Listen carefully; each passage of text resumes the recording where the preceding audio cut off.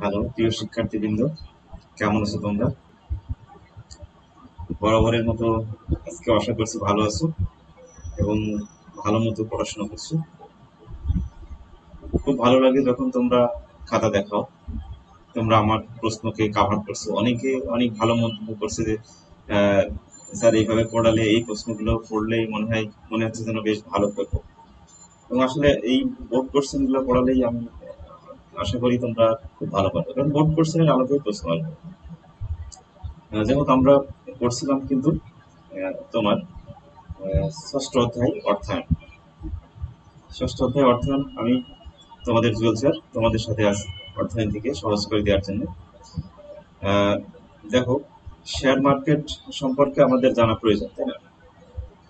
অর্থনীতি পড়তে গেলে শেয়ার মার্কেট ঋণপত্র bond treasury bill treasury note treasury note issue করা বাজেট এগুলো সম্পর্কে একটা মানে আপডেট থাকা নিজেকে আপডেট রাখা। নিজেকে আপডেট রাখতে পারলে সুবিধা হয়। কারণ কি অনেকে অনেক ধরনের কোশ্চেন তোমাকে জিজ্ঞাসা করতে পারে তুমি এটা জানো কি না এটা জানো কি মানে অর্থনীতি পড়লে অনেক সময় কিন্তু অনেকে তোমার কাছে মন্তব্য নিতে চায় কমেন্ট নিতে চায় যে আসলে আপনার কি মনে হয়? দেখো আমরা হ্যাঁ, এখন থেকেই এই আপডেটগুলো রাখার চেষ্টা করব। এবং আমরা কেন এটা বলি জীবনের জন্য প্রয়োজন? যাচ্ছে তুমি চাকরি করলে বা ব্যবসা করলে সমস্যা নেই। তার পাশাপাশি আবার এই শেয়ার শেয়ারের বিজনেসটা করার তোমার ইচ্ছা আছে। তো শেয়ারটা আসলে কি, কীভাবে বিক্রি হয়? আমরা সেই আলোকেই আমরা পড়াশোনা করব। আজকে আমাদের, আমরা দেখো, আমি, এখানে লিখছি যে প্রতি প্রতি, তুমি কি দেখতে পাও? প্রতি সেকেন্ডকে শ্রদ্ধা। প্রত্যেকটা সেকেন্ডকে শ্রদ্ধা করো, সময়কে কাজে লাগাও। সময়কে কাজে লাগালে অবশ্যই তুমি ভালো কিছু করতে পারবে। তুমি যেমন এখন বসে আছো বাসার ভিতরে। তো এই সময়টা স্রষ্টার আশীর্বাদ হিসেবে তুমি কাজে লাগালে অবশ্যই তুমি ভালো করবে। যেমন দেখো ছোট একটা কথা বলি, শুরু করি। সেকেন্ড ইয়ারের যখন পরীক্ষা সামনে সেকেন্ড ইয়ার মানে তোমাদের পরবর্তী। যে যারা যে বড় ভাইরা আছে, তারা পরীক্ষা দিতে পারে না। তারা কিন্তু পরীক্ষা যখন সামনে চলে আসছে মানে আর কয়টা দিন মানে অনেক সময় বলতো, স্যার, এটা কি এটা কি? জিজ্ঞাসা বলতো যে, স্যার, যদি আর কয়টা দিন সময় পেতাম, স্যার, তাহলে মনে খুব ভালো হতো। তো এই যে এখন তারা অনেক সময় পাচ্ছে, কিন্তু এখন তাদের সাথে যোগাযোগ করলে তারা কি বলে, যে পড়াশোনার কথা আর বলেন না, স্যার, পড়াশোনা আর হচ্ছে না। কেন পড়াশোনা হবে না?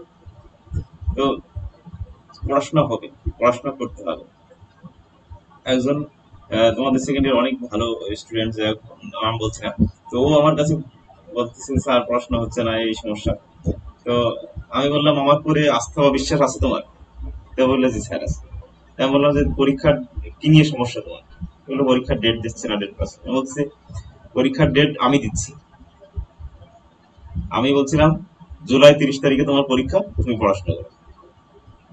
মানে এইভাবে তাকে বলছিলাম মোটিভেট করার জন্য, সে বলছে, ঠিক আছে স্যার, তাহলে আমার মানে তারপরে থেকেই সে কিন্তু টেবিলে বসছে। যাই হোক, তোমাকে টেবিলে বসতে হবে, তুমি এই সময়টাকে দারুণ ভাবে কাজে লাগাতে হবে। আসি, আমরা পড়াশোনায় ফিরে আসব। আমরা পড়ব হচ্ছে ষষ্ঠ অধ্যায়, অর্থায়ন। অর্থায়নের অনেক দূর আমরা পড়ে ফেলছি। আজকে অর্থায়ন শেষ করে আমরা আগামী দিন আবার প্রশ্ন রিভিশনে যাব। তো এই জিনিসগুলো আমাদের জানতে হবে। এখান থেকে আমরা কি কি জানব দেখো। আজকে আমাদের পড়ার বিষয় ছিল কি? পুঁজিবাজার বা স্টক এক্সচেঞ্জ পুঁজিবাজার, আসলে পুঁজিবাজার জিনিসটা কি? এখানে বা স্টক এক্সচেঞ্জ কি? পুঁজিবাজারে কি বিক্রি হয়? পুঁজিবাজারে বা শেয়ার বাজারে কি বিক্রি হয়? শেয়ার বাজারে শেয়ার বিক্রি হয় শেয়ার মানে কি? কতদিন বলছিলাম কিন্তু যে একটা অংশ শেয়ার আর শেয়ারের শেয়ার বা ঋণপত্র বিক্রি হয় কিন্তু ঋণপত্র বিক্রি হয় বন্ড বিক্রি হয়।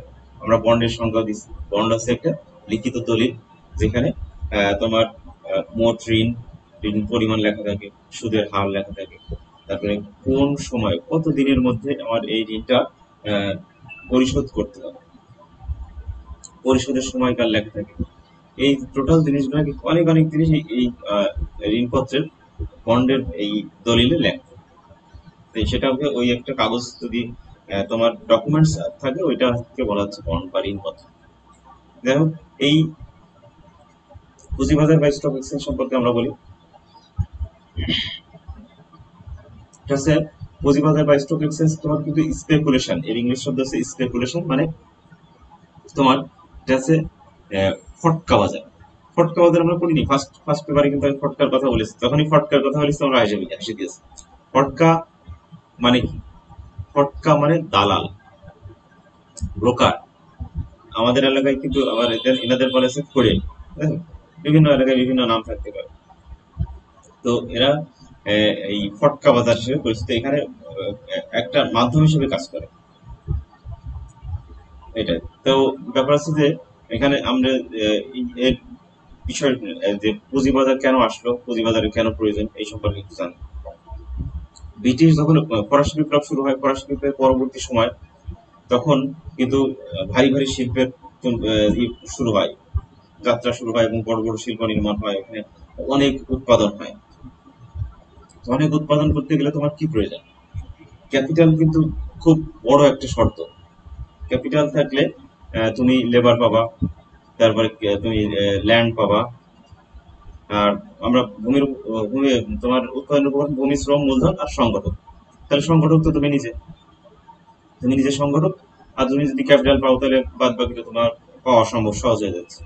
তাহলে ওই সময়ের প্রেক্ষাপটে তখন যখন শিল্প বিপ্লব হলো, শিল্প বিপ্লবের সময়, শিল্প বিপ্লবের পরবর্তী সময়, ভারী ভারী শিল্প নির্মাণ শুরু হয়। এই সময় তাদের মূলধনের প্রয়োজন হয়, প্রচুর পরিমাণ মূলধন প্রয়োজন এই মূলধন প্রয়োজন হলে তারা মূলধন থেকে নেওয়া যাবে বা কোথা থেকে ম্যানেজ করা যাবে, সেই প্রসেসটাই। চার্টার বলে, একটা চার্টার মানে একটা সপ্তদশ শতাব্দীতে এই চার্টার একটা আইন ছিল। এই আইনের মাধ্যমে তোমার এই আইনের উপর ভিত্তি করেই আঠারোশো বাষট্টি সালে এই কোম্পানি আইন, আইনের মাধ্যমে এই, কিন্তু পুঁজিবাজার এর গোড়াপত্তন হয়। পুঁজিবাজার শুরু হয়, যাত্রা শুরু হয়। আর বাংলাদেশে উনিশশো তিরানব্বই সালে আট জুন সিকিউরিটি এক্সচেঞ্জ এর আইন অনুযায়ী উনিশশো তিরানব্বই সালে সিকিউরিটি এক্সচেঞ্জ সিইসি এর যাত্রা শুরু করল।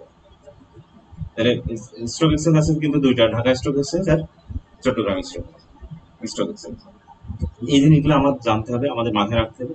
একবার তুমি এই জিনিসটা পড়ো দেখো তোমার কাছে খুব সহজ হয়ে তো আমরা এবার পড়া শুরু করি, আমরা দেখি আমাদের বইতে কি আছে। বইতে যে জিনিসটা আছে, দেখো।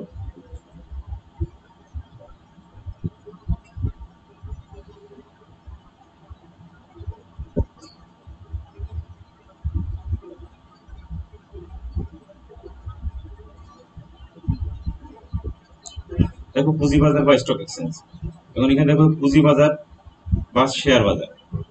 এই পুঁজি বাজারটা কিন্তু শেয়ার বাজার। আর একটা জিনিস মাথায় রাখো যে স্টক স্টক এক্সচেঞ্জ আর শেয়ার শেয়ার বাজার। স্টক এক্সচেঞ্জ আর শেয়ার বাজার কিন্তু দুইটা একই জিনিস। শেয়ার বাজার বলা হয় ব্রিটিশ অর্থনীতিতে আর স্টক এক্সচেঞ্জ বলা হয় আমেরিকান আমেরিকান অর্থনীতিতে। তার মানে এই যে আমেরিকান অর্থনীতি এবং ব্রিটিশ অর্থনীতির দুইটার পার্থক্যের কারণে স্টক এক্সচেঞ্জ এবং শেয়ার বাজার। যাই হোক, আমরা এখানে পুঁজিবাজার ও শেয়ার বাজার হচ্ছে স্পেকুলেশন বা ফটকা বাজার যেটা বললাম। এই দেখো স্পেকুলেশন কোথায়? এই স্পেকুলেশন বা ফটকা বাজার। ব্রিটিশ শিল্প ফলশ্রুতিতে কারখানার মাধ্যমে বৃহৎ আকারে উৎপাদন ব্যবস্থা পরিচালনার জন্য বড় ধরনের পুঁজি বিনিয়োগ অত্যন্ত প্রয়োজন হয়ে এই যে পুঁজি বিনিয়োগটা অত্যন্ত বড় ধরনের প্রয়োজন হয়ে তারা এই পুঁজির প্রয়োজন হয়ে ওঠে এই সময়। এই জন্য প্রয়োজন হয় নতুন ধরনের প্রতিষ্ঠান। তো গতানুগতিক ধারা থেকে যখন তার তোমার গতানুগতিক ধারা থেকে যখন তার মূলধন আহরণ হচ্ছে না, তখন নতুন ধরনের একটা প্রতিষ্ঠান তাদের মাথায় আসে, চিন্তা আসে এইভাবে কোনো প্রতিষ্ঠানকে নিয়ে আসা যায় কিনা, এখানে কোনো বিনিয়োগ করা লাগছে না, তাহলে বিনিয়োগ বাদেই কিন্তু অনেক বড় ধরনের একটা ক্যাপিটাল অর্জন হয়ে যাচ্ছে। সেই জিনিসটা এখানে বলছে। এই জন্য প্রয়োজন হয় নতুন ধরনের প্রতিষ্ঠান। তো চার্টার, এই দেখো, চার্টার। এই চার্টার, চার্টারটা আসলে সপ্তদশ শতাব্দীতে, সপ্তদশ শতকে। সপ্তদশ শতকের শেষের দিকে স্থাপিত কোম্পানি সমূহের স্থলে আঠারোশো, কত সালে আঠারোশো বাষট্টি সালটা মনে রাখা সহজ। তুমি একটু চেষ্টা করবে, তাহলে দেখো সাল মনে থাকবে। কীভাবে মনে থাকবে? আমি আমার মতো করে মনে রাখি এই জিনিসগুলা, যে এই আঠারো এই ছয়তে দুই বাদ দিলাম, তাহলে কত থাকল? দুই। এই দুই এখানে বসাই দিলাম। এখন তোমার ব্যাপার। আমি যে সালগুলো এভাবে মনে রাখার চেষ্টা করলে মনে থাকে। আঠারোশো বাষট্টি। ব্রিটিশ কোম্পানি আইনের সীমাবদ্ধ দায় সম্পন্ন কোম্পানির সূত্রপাতের মধ্যে পুঁজি বা শেয়ার বাজারে করতে হয়। এই যে, ওই সময় চার্টার, তার মানে আঠারোশো বাষট্টি সালে চার্টার আইন অনুযায়ী তোমার ব্রিটিশের ব্রিটিশরা এই- ব্রিটিশের, ব্রিটিশ অর্থনীতিতে আর কি, এই সময় এই কোম্পানি আইন অনুযায়ী এই শেয়ার বাজারে গোড়াপত্তন হয়। আর বাংলাদেশে উনিশশো তিরানব্বই সালে আট জুন সিকিউরিটি এক্সচেঞ্জ কমিশন এবং উনিশশো তিরানব্বই সালে আট security exchange commission S, SEC এর যাত্রা শুরু হয়। এসইসি মানে কি? পরীক্ষা আসবে কিন্তু, এসইসি। পরীক্ষা থাকবে এস ই সি এই এসইসি এক কথা উত্তরে থাকবে। Security ST security exchange commission তারপরে সিকিউরিটি এক্সচেঞ্জ কমিশন কয়টা আছে। ঢাকা স্টক এক্সচেঞ্জ আছে চট্টগ্রাম স্টক এক্সচেঞ্জ আছে। এই জিনিসগুলো আমরা পড়ার চেষ্টা করব সুন্দরভাবে। তো শেয়ার বাজারে আসলে কি হয়? শেয়ার বাজার কীভাবে নিজের মতো সংজ্ঞা দিতে পারো? বই পড়ে আমরা নিজের মতো করে সংজ্ঞা দিব বই পড়ে আমরা নিজের মতো যখন সংজ্ঞা দেবো, তখন দেখো সাধারণত শেয়ার বাজার বলতে এমন একটি প্রতিষ্ঠান বা সংঘ বা অনুমোদিত স্থান বোঝায় তার মানে শেয়ার বাজার একটা প্রতিষ্ঠান। এটা তো মুখস্থ করার প্রয়োজন নেই। শেয়ার বাজার একটা একটা প্রতিষ্ঠান যেখানে অনুমোদিত স্থানে এর তালিকাভুক্ত পাবলিক লিমিটেড কোম্পানি হতে হবে কিন্তু। প্রাইভেট লিমিটেড কোম্পানি হবে না। পাবলিক লিমিটেড কোম্পানি লিমিটেড কোম্পানির শেয়ার বা ঋণপত্র বিক্রি করে। দেখো, সে কথা বলতে সাধারণত শেয়ার বাজার এমন একটি প্রতিষ্ঠান, এখানে একটা প্রতিষ্ঠান বা সংস্থা, অনুমোদিত স্থান একই কথা তিনটা কথাই একই কথা বলা আছে প্রতিষ্ঠান, সংস্থা এবং অনুমোদিত স্থান। তালিকাভুক্ত পাবলিক লিমিটেড কোম্পানির শেয়ার বা ঋণপত্র বিক্রি করে। তার মানে এই যে, এই তালিকাভুক্ত তালিকাভুক্ত হতে হবে। ওদের তালিকাভুক্ত না হলে হবে না। তালিকাভুক্ত পাবলিক লিমিটেড কোম্পানি তোমার কোম্পানির শেয়ার বা ঋণপত্র বেছে নেবে। অন্যভাবে যে সুসংহত বাজার বা স্থানে তালিকাভুক্ত সরকারি, বেসরকারি কোম্পানির শেয়ার সিকিউরিটি নিয়মিত নিয়মিতভাবে এবং নির্ধারিত বিধি অনুযায়ী ক্রয় বিক্রয় করা হয়, তাকে মানে ওই যে এখানে কিছু বিধি বা নিষেধ আছে। আসলে এই বিধি বা নিষেধ অনুযায়ী যে বাজারে শেয়ার বা স্টক যে বাজারে তোমার নির্ধারিত এই শেয়ার বাজার শেয়ার বিক্রি করা হয় বা ঋণপত্র বিক্রি হয় তাকে বলা হচ্ছে স্টক এক্সচেঞ্জ বা শেয়ার বাজার। তাহলে এখানে বিভিন্ন রাইটার বিভিন্নভাবে এটাকে সংজ্ঞায়িত করেছে। আমরা এই রাইটারদের সংজ্ঞা এবার যাব। যে তারা কি বলেছে, এই এইগুলা দেখ- আমরা বুঝতে পারব। অন্তত এলডি শেয়ার শেয়ার আসলে কি বলেছে? স্টক এক্সচেঞ্জ হলো এরূপ একটি আর্থিক প্রতিষ্ঠান যাকে কেন্দ্র করে স্টক বা শেয়ার ক্রয় করতে পারে। তার মানে এটা কি আর্থিক প্রতিষ্ঠান নন আর্থিক প্রতিষ্ঠান? এটা একটা আর্থিক প্রতিষ্ঠান। তাহলে আমরা এটা মনে মুখস্থ রাখব, মনে রাখব, স্টক এক্সচেঞ্জ হলো এরূপ একটি আর্থিক প্রতিষ্ঠান। এইসব মুখস্থ করা খুব সহজ।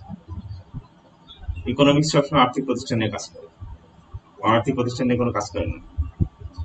ইকোনমিক্সের সাথে ফিনান্স অ্যাকাউন্টিং এর দারুণ একটা সম্পর্ক রয়েছে। ইকোনমিক্স থেকে ফিনান্সের জন্ম হয়েছে। ইকোনমিক্সকে মাদার সাবজেক্ট বলা হয় করে তার মানে ইকোনমিক্স ফিনান্স কি করে? ফিনান্স আর্থিক প্রতিষ্ঠান নিয়ে কাজ করে। আর ইকোনমিক্স তো আর্থিক প্রতিষ্ঠান নিয়ে কাজ করেই।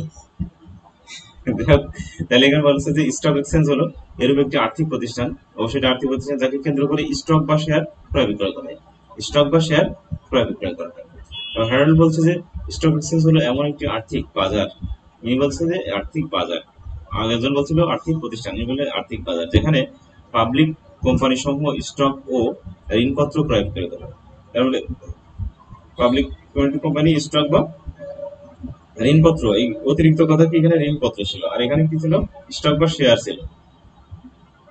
তুমি একটু বিশ্লেষণ করলে সংখ্যাগুলো লিখতে পারো। আর তোমার একটু দেখো সংখ্যা মুখস্থ করতে গেলে সাল মুখস্থ করতে গেলে একটু পাগলামি করতে হয়। পাগলামিটা কেমন? আসলে পাগলামি বলছি কেন? মানে আমি আমার কথা বলি, আমি যখন পড়াশোনা করতাম ইন্টারমিডিয়েট তখন তো অনেক ই ছিল। তোমার, তখনকার আইটেম ছিল কি? যে যে কোনো, যেমন আমার সমাজ বিজ্ঞান ছিল। সমাজ বিজ্ঞান অনেকগুলো রাইটারের সংজ্ঞা ছিল। প্রত্যেকটা পরিবার কাকে বলে? পরিবার আবার তিনটা সংজ্ঞা। মানে আমার তিনি ছিল যে, আমার সংজ্ঞা দিতে হবে, তারপরে মিনিমাম দুইটা রাইটারের সংজ্ঞা দিতে হবে। সর্বোচ্চ তিনটা। তো এইভাবে অনেকগুলো আইটেম ছিল। আমি ওই সংখ্যা সংখ্যাগুলো লিখে লিখে দেয়ালে সামনে মেরে রাখতাম। আমার টেবিলের সামনে ওই কাগজগুলো দিয়ে মেরে রাখতাম। আমার এক সপ্তাহ পর আবার এটা দিলে, আবার নতুন একটা এভাবে পনেরো বিশটা সংখ্যা আমি এখানে প্রত্যেক সপ্তাহে আমার টার্গেট থাকতো এগুলো মুখস্থ করা। তো এটা কোনো ব্যাপার না, এটা বারবার দেখা। পড়াশোনা মানে পড়াশোনা মানে কি? অনুশীলন, চর্চা করা, দেখা। ওই, ওর সাথে চলাচল চলাচল করা। তো ওই জিনিসটা যদি আমি বারবার দেখি বারবার দেখতে থাকি বারবার থাকি, দেখব একসময় এমনিতেই হয়ে যাবে এই জন্য তুমি এই সাল সংখ্যা বা রাইটার সংখ্যা যদি আছে যেগুলা সেগুলা তুমি কাগজে লিখে দেয়ালে মেরে রাখো। তোমার সাল মনে থাকে না তুমি সাল দেয়ালে কাগজে লিখে দেয়ালে মেরে রাখো। যেটা মনে থাকে না যেটা কঠিন মনে হয় সেটা লিখো লিখে লিখে দেয়ালে মেরে রাখো। তোমার পড়ার টেবিলের সামনে মেরে। এতে তুমি দারুণ উপকৃত হবে। তুমি দেখো, এক সপ্তাহ তুমি যেটা মনে থাকে না, আমি তোমার গ্যারান্টি দিয়ে বলতে পারি যে জিনিসটা তোমার মনে থাকে না, সেই জিনিসটা লিখে দেয়ালে মেরে রেখো, এক সপ্তাহ চর্চা করো শুধু। শুধু দেখবা। পড়ার বসবা একটু দেখবা, কি আসলে কি লেখা আছে, আবার আবার দেখলি। দিনের ভিতরে রেখে চার পাঁচবার দেখবা দেখবা অটোমেটিক মুখস্থ হয়ে যাবে। তোমার মুখস্থ করা লাগবে না। এমনিতেই মুখস্থ হয়ে যাবে। যেটা পড়ছিলাম, দেখো এখান থেকে।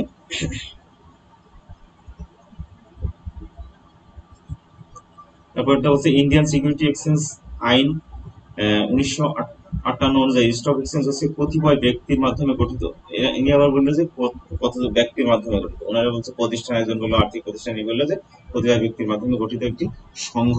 ওনারা কি বলছিল? সংঘ। ওনারা বলছে, একজন বলছিল যে প্রতিষ্ঠান বলছিল আর্থিক প্রতিষ্ঠান, একজন বলছে যে হচ্ছে এটা একটা সংঘ বা ঋণপত্র ক্রয় বিক্রয় হয় যেখানে পড়লে আমাদের সহজে ভাবে মুখস্থ হয়ে যাবে। তো তারপরে আসছে দেখো, এবার তুমি নিজের মতো সংখ্যা যেটা দিবা, সেটাকে কি বলবা? সেটাকে বলবা হচ্ছে,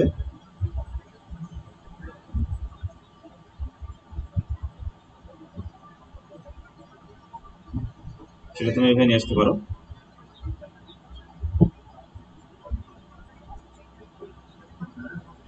যে সুসংগঠিত প্রতিষ্ঠানের শেয়ার বন্ড অন্যান্য আর্থিক সম্পদ আনুষ্ঠানিকভাবে অনানুষ্ঠানিকভাবে বেচা কেনা হয় তাকে স্টক বলে।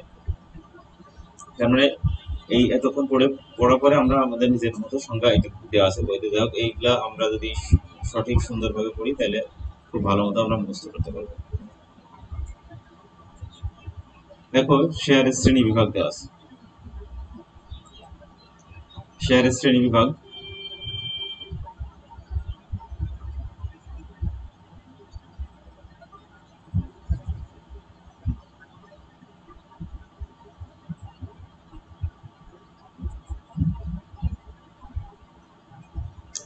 আমরা এখানে শেয়ারের শ্রেণি বিভাগ করব। শেয়ারের শ্রেণি বিভাগে কি আছে?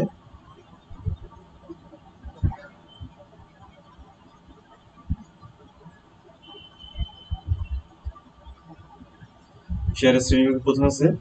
দেখো প্রিফারেন্স শেয়ার মানে প্রিফারেন্স শেয়ার হবে অগ্রাধিকার শেয়ার তো শেয়ার বাজার যখন একটা কোম্পানি বিভিন্ন ধরনের শেয়ার ছাড়ে গত কতদিন বলছিলাম যে প্রিফারেন্স শেয়ারগুলো সব থেকে মূল্যবান শেয়ার বা কোম্পানি লাভ করুক লস করুক, এদের টাকা ব্যাক দিতে হবে। যদি কোম্পানি লাভ করে, যদি লাভ করে থাকে, তাহলে সেই লাভের অংশ সর্বপ্রথম এই প্রিফারেন্স শেয়ারকে দিতে হবে। আর যদি কোম্পানি লস করে, তাইলেও এদের টাকা ব্যাক দেওয়ার জন্য এখতিয়ার রাখে আইন আছে তো প্রিফারেন্স শেয়ার দেখো, প্রথমে এখানে আসি। কোম্পানি লাভ করলে প্রথমেই এই ধরনের শেয়ারের লভ্যাংশ পায়। তার মানে কোম্পানি যখন লাভ করবে, প্রথমেই এদেরকে অগ্রাধিকার দেওয়া যেমন ফার্স্ট ক্লাস ভিআইপি তাই না? তো প্রথমে এদেরকে লাভ দেওয়া হবে। তার পরবর্তীতে আসছে সাধারণ শেয়ার। সাধারণ শেয়ার কি? এই প্রিফারেন্স শেয়ারকে তোমার এদের টাকা দেওয়ার পরে, পরবর্তীতে যে টাকা থাকবে সেখান থেকে আবার সেই লভ্যাংশ থেকে সাধারণ শেয়ারকে মালিকদের দিতে হবে। যেমন প্রথমে প্রিফারেন্স শেয়ারকে দিতে হবে, তারপরে সাধারণ শেয়ার মালিকদের। প্রিফারেন্স শেয়ার এর মালিকদের পরে এই শেয়ারের মালিকদের লভ্যাংশ পায়। তার মানে প্রিফারেন্স শেয়ারের পরে যে যে টাকাটা পাচ্ছে সেটা হচ্ছে সাধারণ শেয়ারের মালিক। বিলম্বিত দায়মুক্তি শেয়ার প্রিফারেন্স শেয়ার ও সাধারণ শেয়ার। এবার দায়মুক্তি শেয়ার কি? প্রিফারেন্স শেয়ার এবং তোমার যে সাধারণ শেয়ার। প্রথম অবস্থায় প্রিফারেন্স তারপর সাধারণ। তো প্রিফারেন্স শেয়ার, সাধারণ শেয়ার দেওয়ার পরে তারপর বিলম্বিত শেয়ার আলাদা প্রিফারেন্স শেয়ার সাধারণ শেয়ার হোল্ডারদের লভ্যাংশ বা মূলধন ফেরত পাওয়ার পর এদেরকে এই টাকাটা দেওয়া পরিশোধ করা। প্রাথমিক শেয়ার, গতদিন আমি প্রাথমিক শেয়ার নিয়ে বেশ অনেক কথা বলছিলাম, আজকে আমরা প্রাথমিক শেয়ার এবং মাধ্যমিক শেয়ার সম্পর্কে করব। এখান থেকে খুব গুরুত্বপূর্ণ, এই শেয়ার চ্যাপ্টার থেকে প্রশ্ন তোমার থাকবেই। প্রশ্ন না থাকলে আমার কাছে বুঝে এখান থেকে প্রশ্ন। প্রাথমিক শেয়ার বলছে, কোন কোম্পানির বাজারে প্রথমে যে শেয়ার ছাড়ে কোম্পানি বাজারে প্রথমে যে শেয়ার ছাড়ে সেটা হচ্ছে প্রাথমিক শেয়ার আর মাধ্যমিক শেয়ার কি? প্রাথমিক শেয়ারের মনে করো আমি একটা প্রাথমিক শেয়ার কিনছি। আমার প্রাথমিক শেয়ারটা আমি আসলে বিক্রি করে দেবো। তাহলে পরবর্তীতে সেটা সেকেন্ড হ্যান্ড হয়ে যাচ্ছে। তার মানে এটা এটা হচ্ছে মাধ্যমিক শেয়ার এটা মনে রাখতে হবে। রাইট শেয়ার রাইট শেয়ার তোমার বইতে কিন্তু অনেক সংখ্যা নেই আমি কিন্তু এই সংখ্যাগুলো খুঁজে খুঁজে ফাইন্ড আউট করে করে এইটা তোমার লিখে দিচ্ছি এই জন্য তোমাকে অবশ্যই চিন্তা করতে হবে, ঠিক আছে? তুমি এই জিনিসগুলো টোটালি সুন্দরভাবে ফেলব রাইট শেয়ার রাইট বইতে সংখ্যা খুঁজে পাবো না। এই জন্য তোমার এগুলা গুরুত্বপূর্ণ। কিছু কিছু সংজ্ঞা বইতে নেই। রাইট শেয়ার হচ্ছে বৈধ অধিকার মূলক শেয়ার পরীক্ষায় দেবো, এই এই সংখ্যা দেবো, তুমি খুঁজে খুঁজে পাবা না। কিন্তু বই খুঁজে পাবো না। কোথায় কিন্তু রাইট শেয়ারের কথা আছে। তার মানে বৈধ অধিকার মূলক শেয়ার পুরাতন শেয়ার মালিক, বৈধ অধিকার মানে কি এখানে অধিকার রয়েছে তুমি দেখা যাচ্ছে যে কোনো একটা প্রতিষ্ঠানের অনেক পুরাতন, অনেক অভিজ্ঞ মানে পুরাতন একজন এমপ্লয়ার তখন তোমাকে এই রাইট শেয়ার দেওয়া মানে পুরাতন শেয়ার মালিকগণ ওই শেয়ারের অগ্রাধিকার পায় যারা পুরাতন লোক, যারা দীর্ঘদিন ওই- সংস্থায় কাজ করে, তাদেরকে এই রাইট শেয়ারের অধিকারটা দেওয়া হয়।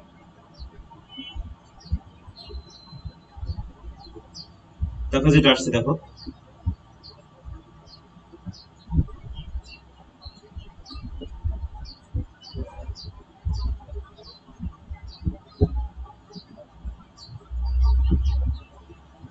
তারপর আসছে, দেখো বোনাস শেয়ার রাইট শেয়ার করে আসছে বোনাস শেয়ার বোনাস শেয়ারটা কি?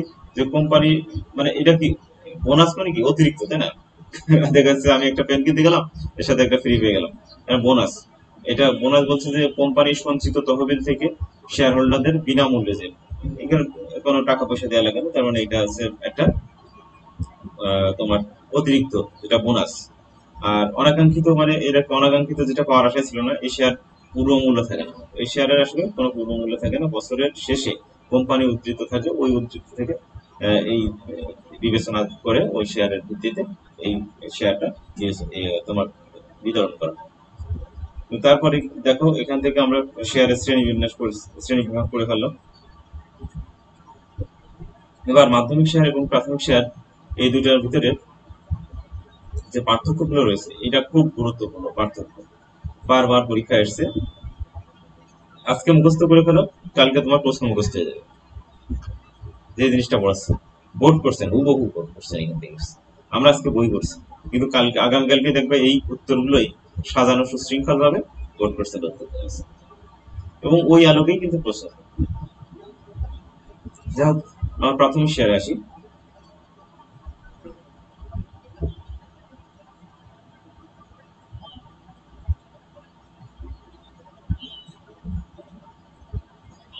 দেখো, প্রাথমিক শেয়ার আমার দুইটা পার্থক্য আমি লিখে রাখছি। এই পার্থক্যটা সুন্দর করে তুমি খাতায় লিখবা, তাহলে তোমার সুবিধা হবে। প্রাথমিক শেয়ার এবং মাধ্যমিক শেয়ার মাধ্যমিক শেয়ারের আরেকটা নাম কি? সেকেন্ডারি শেয়ার তো বিভিন্ন কোম্পানির বা ইস্যুকারক প্রতিষ্ঠান আইপিও পরীক্ষায় বারবার আসবে IPO initial public offering initial মানে কি? প্রাথমিক।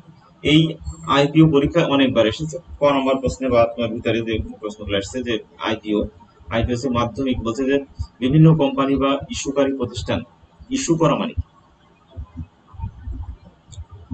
ট্রেজারি বিল মানে এই জিনিসগুলো জানতে হবে। ইস্যু করা মানে কোনো কিছু তোমার যেটা বলে যে প্রচার করা, তারপরে আরও একটু সুন্দর বাংলা আছে তোমার ইস্যু করার প্রচার করা, তারপরে আছে যে নির্গমন করা, বাজারে কোনো ছাড়া, চালু করা, এইসব জিনিস, বিতরণ করা। ঠিক আছে? তারপরে আছে তোমার আরেকটা কি বললাম? ট্রেজারি বিল ট্রেজারি বিল মানে কি? ট্রেজারি বিল শর্তবিহীন যেটা থাকে। আমরা বন্ডের কথা বললাম বন্ডে কিন্তু শর্ত থাকে। ট্রেজারি বিলে কোনো শর্ত থাকে না। তার মানে বন্ড এবং ট্রেজারি বিল দুইটা বিপরীতমুখী সম্পর্ক বন্ড হচ্ছে দীর্ঘমেয়াদী একটা ঋণপত্র, ঠিক আছে? ওই ঋণপত্রে সুদের হার, তারপরে মোট কত টাকা তুমি লোন নিচ্ছ, এই টোটাল যেমন জিনিস থাকে, দীর্ঘমেয়াদী একটা ফলাফল। আর ঠিক ট্রেজারি বিল হচ্ছে স্বল্পমেয়াদী, এখানে স্বল্পমেয়াদী একটা ঋণদান প্রকল্প। তাহলে এটা দীর্ঘকালীন একটা স্বল্প যাই হোক, এখানে আমরা এখানে প্রাথমিক শেয়ার আইপিও আইপিওর কথা বললাম যে inter initial public offering initial public offering এর মাধ্যমে বিক্রয়ের উদ্দেশ্যে বাজারে যেই শেয়ার ছাড়া হয়। দেখো, এখানে খুব গুরুত্বপূর্ণ কথা এই যে লটারি তো প্রাথমিক শেয়ার সবাই কিন্তু প্রাথমিক শেয়ার চায় কারণ প্রাথমিক শেয়ারের ঝুঁকি কম, আয় বেশি। সবাই যখন পেতে চাইবে, তখন কি? সবাইকে তো দেওয়া সম্ভব হবে তখন কি হবে? লটারি করা। তো লটারি করা হলে সবাই তো লটারিতে জিততে পারবে না। যাই হোক, এই লটারির মাধ্যমে এই শেয়ার ক্রয় বিক্রয় করা তাহলে এই প্রতিষ্ঠান আইপিওর মাধ্যমে এই প্রাথমিক শেয়ার ক্রয় বিক্রয় করা হয় আর তোমার যেটা হচ্ছে যে মাধ্যমিক শেয়ার মাধ্যমিক শেয়ারে কি আসবে? মাধ্যমিক শেয়ার আছে বিও এটা আছে যেমন আইপিও এর মাধ্যমে কাজ করা হয়, এটা আছে বিও এর মাধ্যমে কাজ করা হয়। এটা বিও এটা মনে রাখতে হবে। বিও তে হচ্ছে বেনিফিশিয়ারি ওনার্স যারা উপকৃত হয় বেনিফিশিয়ারি ওনার্স আর এটা হচ্ছে আইপিও এটা মনে রাখো। পরীক্ষায় এখান থেকে প্রশ্ন থাকবে আইপিও আইপিও মানে ইনিশিয়াল পাবলিক অফারিং প্রাথমিক শেয়ারের সাথে আইপিও যুক্ত ওকে আর এর সাথে বিও যুক্ত বেনিফিশিয়ারি ওনার্স এখন প্রাথমিক শেয়ার প্রাপ্তি স্থানটা আসলে মানে কোথায়? এটা হচ্ছে আর্থিক প্রতিষ্ঠান, ব্যাংক কি? আর্থিক প্রতিষ্ঠান ব্যাংকের মতো আর্থিক প্রতিষ্ঠান আরও আছে। তো ব্যাংক এবং ব্যাংক জাতীয় প্রতিষ্ঠান যে আর্থিক প্রতিষ্ঠানগুলো আছে, সেখান থেকে আমরা এই দেখো প্রাপ্তি স্থান আমি ছোট ছোট করে লিখে রাখছি। তুমি এভাবে পড়লে তোমার খুব সহজ হবে। এখানে বড় বড় করে দেওয়া আছে পার্থক্যগুলো। অনেক বড়, বৃহৎ এবং ঢালাওভাবে লেখা। আমি ছোট ছোট করে বই খুঁজে পড়ে পড়ে ছোট ছোট করে তোমার জন্য নিয়ে এসেছি। এই তুমি এই কথাগুলো খাতায় লিখে রাখো। এতে তোমার মুখস্থ হয়ে যাবে এবং খুব দ্রুত মুখস্থ তো প্রাপ্তিস্থান ব্যাংক বা আর্থিক প্রতিষ্ঠানে আমরা পেতে পারি এটা। আর এটা এটা পাবো কোথায়? স্টক স্টক এক্সচেঞ্জে পাবো আর এটা পাবো প্রাথমিক স্টক এক্সচেঞ্জ কি? স্টক এক্সচেঞ্জের কথা বললাম। স্টক এক্সচেঞ্জ আসলে একটা যেটা বললাম স্পেকুলেশন তাই না? স্পেকুলেশন দালাল, ফড়িয়া, ফটকা। এইখানে ক্রয় বিক্রয় হয়। আরেকটা ব্যাপার হচ্ছে যে, এর দাম নির্ধারণ হয় কিন্তু চাহিদা এবং যোগানের উপর ভিত্তি করে। চাহিদা, যোগানের উপর ভিত্তি করে চাহিদা যদি বেড়ে যায়, তাহলে দাম তখন কি হবে? দাম অটোমেটিক ওরা বাড়ায় দেবে। চাহিদা যখন কম থাকে তখন তারা আস্তে আস্তে দাম কমায় দেবে ওই দ্রব্য বিক্রি হওয়ার জন্য। আমরা চাহিদা রেখা শিখছিলাম না? এই চাহিদা রেখার ভিতরেই অনেক বর্ণনা রয়েছে দেখো।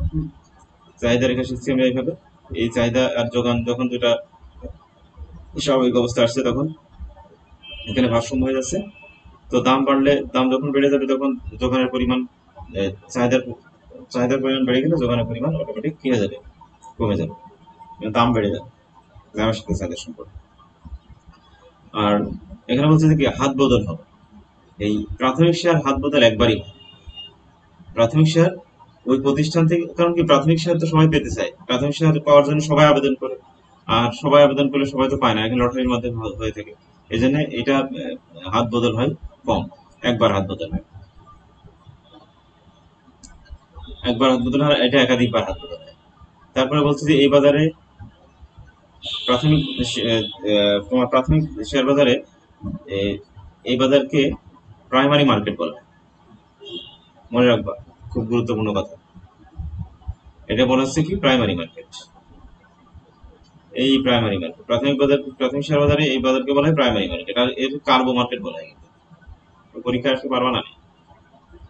যে কার্বো মার্কেট কোন বাজারে বিক্রি করা মিরর অফ দ্য মার্কেট কোন কোন দেশে অর্থনৈতিক দর্পণ বলা হয়? কোন বাজার, কোন কোন বাজারকে? বন্ডের বাজারকে, ঋণপত্রের বাজারকে শেয়ার বাজারকে ছোট ছোট প্রশ্ন ফুটে ফুটে ফুটে ফুটে বারবার তুমি বই দেখলে বুঝতে পারবে যে আমার বইতে কত দাগ রয়েছে। সুন্দর করে তুমি বারবার বারবার বারবার পড়ো। দুইটা, তিনটা কালি ব্যবহার করো। কোনটা গুরুত্বপূর্ণ সেটা সেই জিনিসটা বের করো। বইতে দাগ দাও, বই পড়ো এবং খাতায় লেখো, নোট করো। তা না হলে আমি যেই নোট করছি, এই নোটগুলোকে তুমি তোমার খাতায় তুলে রাখো। তুমি সুবিধা হবে। তো এটা হচ্ছে প্রাইমারি মার্কেট আর এটাকে বলা হচ্ছে কার্বো মার্কেট এটাকে বলা হচ্ছে প্রাথমিক বাজারকে বলা হচ্ছে আইপিও ইনিশিয়াল পাবলিক অফারিং আর এটাকে বলা হচ্ছে কি? BO beneficiary beneficiary owners okay এই জিনিসগুলো আমাদের মাথায় রাখতে হবে। খুব সুন্দর করে এই জিনিসগুলো মাথায় রাখো তুমি। ভালো পারবা। ওকে তারপরে দেখো, এবার আসব আমরা বন্ডে প্রিফারেন্স শেয়ার ও প্রিফারেন্স শেয়ার ওখানে যে আমরা শেয়ারগুলো ভাগ করলাম, ওর ভিতরে বা প্রিফারেন্স শেয়ারের ভিতরে আবার ভাগ আছে। প্রিফারেন্স শেয়ারের ভিতরে ভাগ আছে অতিরিক্ত মুনাফার অগ্রাধিকার শেয়ার তারপরে পরিশোধযোগ্য অগ্রাধিকার শেয়ার, অসঞ্চয়ী অগ্রাধিকার শেয়ার, সঞ্চয়ী অগ্রাধিকার শেয়ার, অপরিশোধযোগ্য অগ্রাধিকার শেয়ার। এই যে অগ্রাধিকার শেয়ার অগ্রাধিকার শেয়ারটা কি? ফার্স্ট টাইমে কোম্পানি যখন মুনাফা করে, তখন আগেই এই অগ্রাধিকারদের, অগ্রাধিকার দেওয়া হয়েছে কারণ কি? তাদেরকে ফার্স্ট টাইমে বলা হয়েছে যে ওদেরকে আগে মুনাফাটা পরিশোধ করো। কিন্তু অগ্রাধিকার শেয়ারের ভিতরে বিভিন্ন পার্থক্য রয়েছে, এই পার্থক্যগুলো আমরা করে ফেলব। তো এগুলো মনে রাখব। তারপর দেখো। এটা তো পড়লাম। প্রিফারেন্স শেয়ার তারপর আসতেছে। শিল্পে পুঁজি গঠন এবং শেয়ার বাজারের গুরুত্ব প্রয়োজনীয়তা। তো এতক্ষণ পড়লাম আমরা শিল্পের পুঁজি গঠন তোমার শেয়ার বাজার বা শেয়ার বাজারের কাকে বলে শেয়ার বাজার থেকে কীভাবে আমরা কোম্পানিগুলো মুনাফার ক্যাপিটাল সংগ্রহ করতে পারে? এই ক্যাপিটাল কীভাবে ব্যবহার করলে উৎপাদন কাজে লাগিয়ে তোমার বেশি বেশি উৎপাদন করতে পারে? তার মানে অবশ্যই এই যে পুঁজি বাজার পুঁজি পুঁজি বাজার শেয়ার বাজার ক্যাপিটাল বাজার এই যে এই এর গুরুত্ব এবং প্রয়োজনীয়তা অপরিসীম। শিল্প, এখান থেকে আমার প্রথমে বলছিলাম যে শিল্প কিন্তু খুব শিল্প সবসময় ক্যাপিটাল আহরণ করতে চায় এখান থেকে। কারণ এখান থেকে ক্যাপিটাল যদি আহরণ করে, তাহলে তার থেকে ট্যাক্স দেওয়া লাগে না। এখান থেকে যত টাকায় আর্ন করুক, তার ট্যাক্স দেওয়া লাগে না এক্ষেত্রে এটা জানতে হবে তোমাকে। এবার আসো। আমরা এখান থেকে এই জিনিসটা দেখব। বলছে যে শিল্পে পুঁজি গঠনের শেয়ার বাজারের গুরুত্ব ও প্রয়োজনীয়তা। প্রথমে বলছে যে, প্রয়োজনীয় মূলধন সংগ্রহ। তার মানে এই বাজার থেকে কি করতে পারে সে? মূলধন সংগ্রহ করতে পারে। খুব সহজে এই বাজার থেকে মূলধন সংগ্রহ করতে পারে। প্রয়োজনীয় মূলধন সংগ্রহ করতে পারে। তারপরে আর্থিক অবস্থা ভালো হলে কোম্পানির সুনাম বৃদ্ধি পাবে অবশ্যই যখন আর্থিক অবস্থা ভালো হবে, সুনাম বৃদ্ধি পাবে এবং মূলধন সংগ্রহ খরচ কম হবে। মূলধন, এইখানে মূলধন সংগ্রহ করতে আবার খরচ কম হয়। অন্যান্য খাত থেকে মূলধন সংগ্রহ করতে যে পরিমাণ খরচ হবে, এখানে কম হবে যখন এই মূলধন সংগ্রহ হয়ে যাবে তখন তোমার হাতে টাকা চলে আসবে, তখন কি হবে? তোমার উৎপাদন বৃদ্ধি পাবে। উৎপাদন বৃদ্ধি পেলে কি বৃদ্ধি পাবে?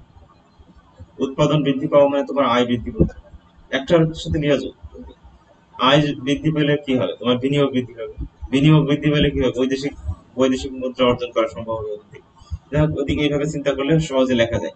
তারপরে কি হবে? দেখো, আয় বৃদ্ধি কর্মসংস্থান বৃদ্ধি পাবে। তারপরে কি আসছে? কর্মসংস্থান বৃদ্ধি পাচ্ছে। তারপরে শেয়ার জামানত রেখে, এই যে আবার একটা মজার ব্যাপার আছে। মজার ব্যাপার আছে যে ওই যে শেয়ারের যে কাগজ বা শেয়ার যে যেই তোমার দলিল বলো বা যাই শেয়ারের যে শেয়ারটা এই শেয়ারটা আবার ব্যাংকে জমা রাখলে কিন্তু ব্যাংক থেকে ঋণ পাওয়া যায়। এই বলছে যে শেয়ার জামানত রেখে ব্যাংক ঋণ গ্রহণ করা যায়। তারপরে সঞ্চয় বৃদ্ধি, এখানে সঞ্চয় বৃদ্ধি করা যায় সহজে, এখান থেকে সঞ্চয় পুঁজি গঠনের নিরাপদ উৎস এটা। তারপরে শেয়ার মার্কেট হতে মূলধন সংগ্রহ করে করলে কর দিতে হয় না। এই যে কথা আমি আগে বললাম যে মূলধন সংগ্রহ করলে কর দিতে হয় না। বিধায় উদ্যোক্তা আগ্রহ বেশি সৃষ্টি হবে। এখানে উদ্যোক্তার আগ্রহ বেশি হবে। তো এই জিনিসগুলো আমার মাথায় রাখতে হবে এবং সহজ সাবলীল ভাবে জিনিসগুলো চিন্তা করতে হবে। চিন্তা করলে আমরা এই শেয়ার বাজার সম্পর্কে অনেক কিছু জানতে পারব, লিখতে পারব। এই জন্য তুমি এই অধ্যায়টা সুন্দরভাবে পড়বা। তোমার জীবনের জন্য প্রয়োজন আছে। তুমি যদি শেয়ার বিজনেস করতে চাও তাহলে এখান থেকে একটা প্রাথমিক একটা ধারণা নিতে পারো। তো আগামী দিন এই অধ্যায়টা টোটালি পড়ে ফেলবা সুন্দর করে প্রায় শেষ হয়ে গেছে। আমাদের পুরোই শেষ। আর বন্ড সম্পর্কে যে কথাগুলো বললাম বন্ডের বৈশিষ্ট্যগুলো এগুলো পড়লে আমরা এবার আগামী দিন কিন্তু আঠারো, উনিশ সাল এবং আঠারো সাল, এই দুইটা প্রশ্ন তুমি দেখবা। আমি তোমার সুন্দর করে উত্তর দিয়ে দেবো। কিন্তু তুমি একটু চেষ্টা করো। ভালো থাকো, সুস্থ থাকো। দেখা হবে আগামীতে।